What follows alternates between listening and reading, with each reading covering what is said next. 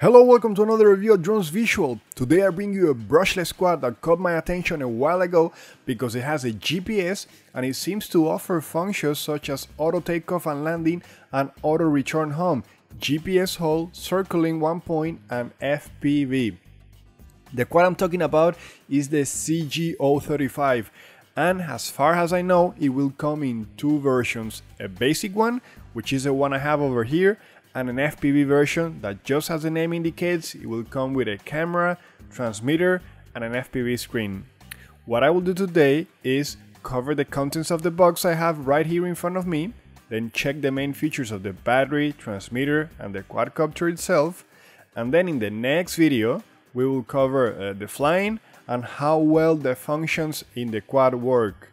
So now let's take a look at uh, what's inside the box. The first thing we will see are the props, we get two sets of props. These ones over here and then there are four props mounted on the quadcopter already. As you can see these are six inches props. I know many of you are interested in getting uh, the exact measurements so here you can see it by yourself. Then of course to protect the props we have these uh, four prop guards. I think they just insert in the arms without the need of screws. I will check that out later although I'm not sure whether I will use them actually. And then the landing gear, very simple and light. Each leg attaches to the body of the quad uh, through two screws which are included. Then we have the battery that comes protected in this plastic housing, making it easier to uh, insert in the aircraft. If we look at the other side, we can actually see uh, the battery inside. And then uh, on the other end, we have uh, two connectors. One is the balance port and the other one is the connector that will supply the quadcopter. This is the balance uh, port which you connect to the balance charger to uh, charge your battery.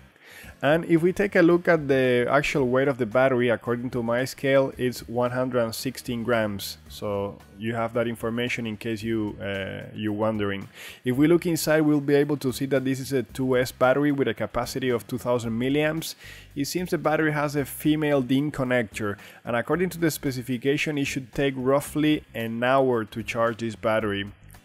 Now, the battery itself uh, seems to be like around 4 inches in length and as you can see over here I mean I know that many of you sometimes ask about the dimensions and weight of the battery so that's why I'm showing you here. And here on the side is around 1.7 centimeters.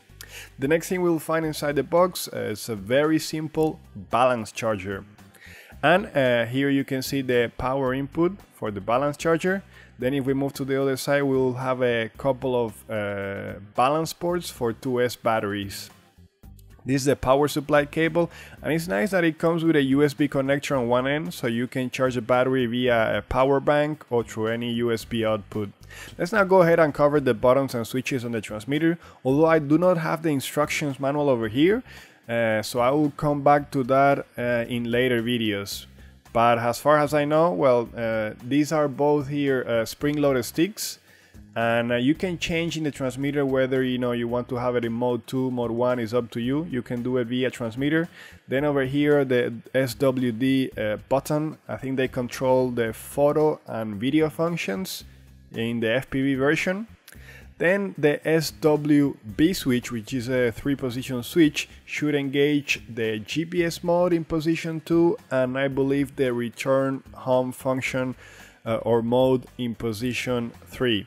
Then if we move to the other side, we have the SWA switch, and I think it will control headless mode and uh, circling around a fixed point. We'll try that later when we fly the quadcopter. And then the this one over here, I think they control the follow me mode and perhaps uh, FPV frequency uh, channel, sorry, in the in the quadcopter. Again, we'll test that properly later. Then we have these buttons over here to trim uh, the sticks in case we find any regular uh, flying pattern in the quadcopter itself and an LED that indicates when the receiver, uh, I'm sorry, transmitter is on. Then this large button over here seems to control the uh, sort of like the gimbal or camera support uh, in the FPV version, not quite sure yet. And this button here in the center controls, controls the auto takeoff and landing functions. If we move to the other side, there is another uh, large button over here. I'm not quite sure what it does yet. I'll try to find out and let you know. And then if we move here to the center, we have basically the power button and it seems to be uh, that it seems to be locked and I think to unlock it you have to move both sticks upward and to the right.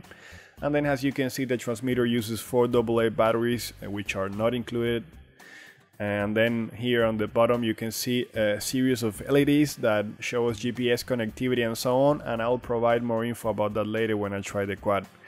Holding the transmitter feels rather comfortable and it seems really really light although I have not inserted the batteries yet. And finally here we have the brushless quadcopter CG035 without the landing gear. I can't help to notice how much it looks like the MJX X101 uh, so I guess I could say that this is basically the brushless version of the X101.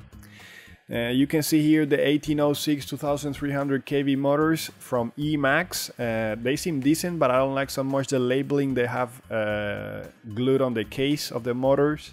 And then it seems that the quad has a GPS antenna here, although we will take a look inside later to see whether the antenna is actually there or not.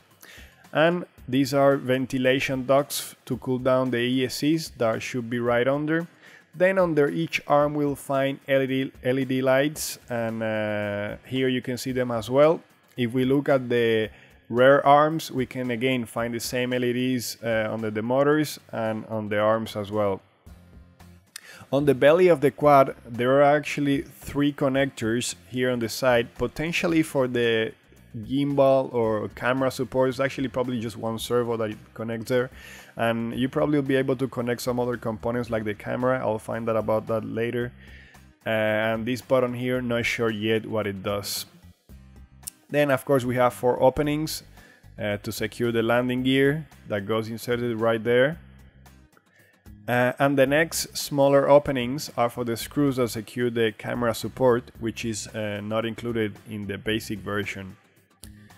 Then on the rear we have the opening for the 2000 milliamp uh, battery that I showed you before. And here you can take a look at the opening a little bit dark inside the compartment though. Then I hope you can uh, visualize the actual dimensions of the quad here.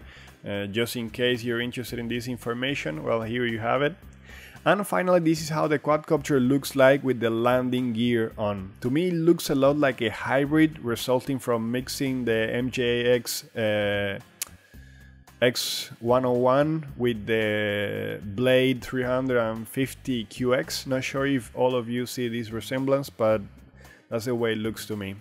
Anyways, this will conclude my brief unboxing today. In the next video we will take a look at how this quadcopter flies and hopefully we will cover whether all the functions such as GPS, hold, follow me modes, exactly, uh, uh, sorry, and all those other uh, functions work properly.